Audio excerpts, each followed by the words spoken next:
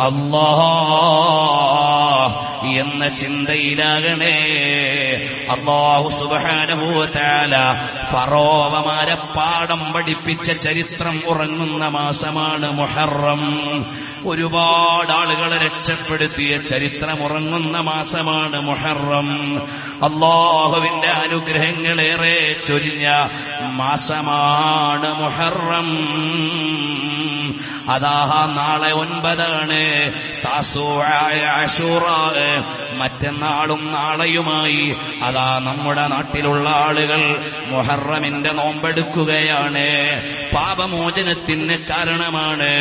കഴിഞ്ഞ ഒരു കൊല്ലത്തെയും വരുന്ന ഒരു കൊല്ലത്തെയും പാപം പൊറുക്കാൻ കാരണമാകുന്ന പുണ്യമാണ് ഈ രണ്ട് നോമ്പുകൾക്കെന്ന് പഠിപ്പിച്ചത് പുണ്യ റസൂൽ സ്വല്ലല്ലാഹു അലൈഹി വസല്ലമ തങ്ങളാണ്